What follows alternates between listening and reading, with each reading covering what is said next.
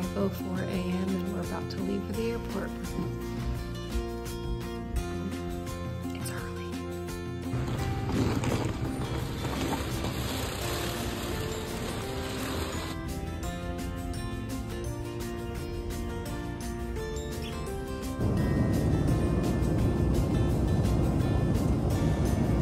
We've gotten our addition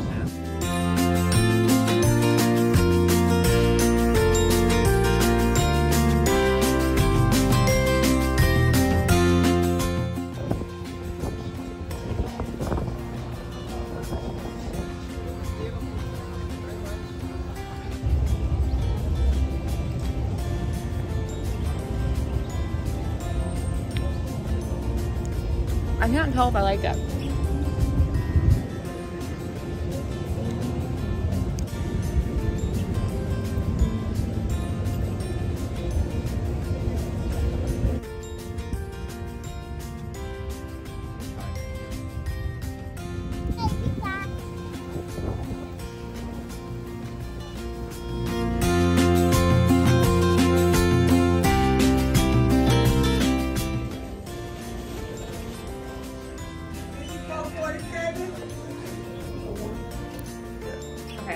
So for Royal Caribbean, if you read the fine print about bringing wine on, you're allowed two bottles per stateroom, 750 mLs, but it can't be stronger than 13% alcohol.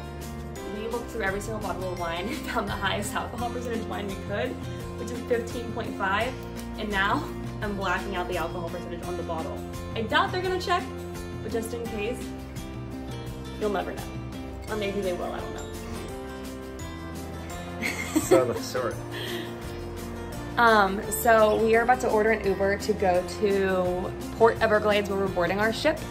Our boarding time is one o'clock and we're gonna get there at 11 and try to smooth talk our way onto the boat early, right? Yes. Because we bought the key. We don't, I don't really know what it is other than apparently we get priority boarding. So we're gonna go try to get on before everybody else.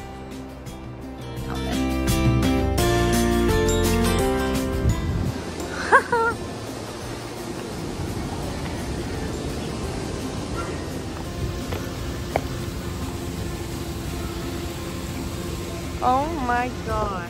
So we got on our boat early. Our boarding time was 1. What time did we get on the boat actually, Nick? Like 11? Okay, so we got on at 11. We also did, they did not care at all about our wine.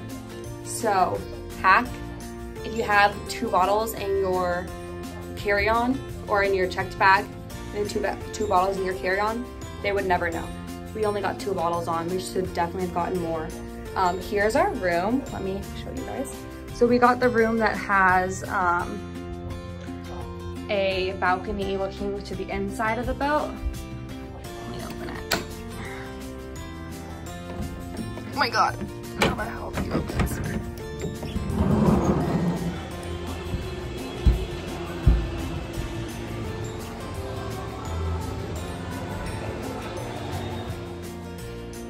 90s dance class. Sign us up for it. Uh,